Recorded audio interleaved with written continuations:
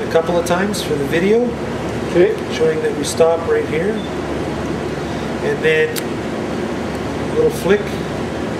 So it's here and flick. And grab that and pin.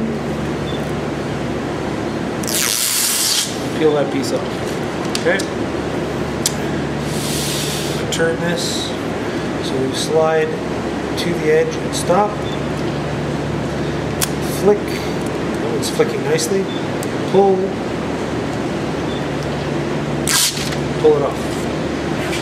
Same thing here. Go to the edge. And the knife is really, really sharp. So.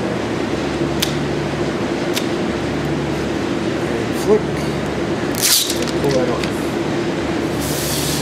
And then we go to this point.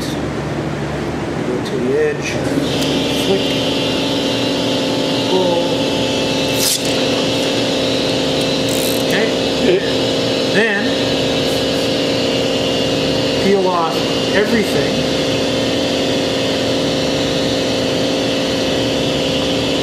Just gonna zoom it in. Yep. Okay. Okay. Down the knife. Grab this piece in one hand. Thumb in the corner. Go quickly. And I a nice job there. To the next piece. That down. Next piece. Bring that down. Bring that down. Oops. And oops.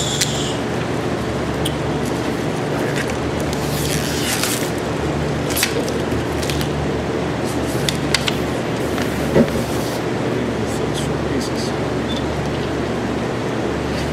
Uh, let's see if I can get that one with the knife behind it. Smooth the knife into the middle. And then put it in the, put the pattern over top of the knife. Oh, okay. Yeah, there we go. Perfect. Okay. Then we'll do a bulk removal. Okay. For the bulk removal, first of all, I'm gonna roll it up and pretend that we're putting this, I'm gonna put this onto here, but it'll pull off and I don't think it'll damage your table. So, roll it with the film on the outside. And peel corner back. Then set the edge down. Put your hand inside and pull.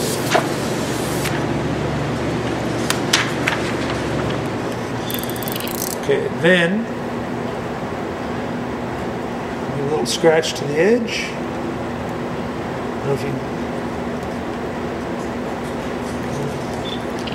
and a flick. Oops, didn't do a very good flick there. Grab the liner. Give me two seconds. Still. Go ahead and take a picture of that. Pull that up. Excellent. Okay, that should be pretty explanatory. That's pretty much got everything, I think. I mean, the nice thing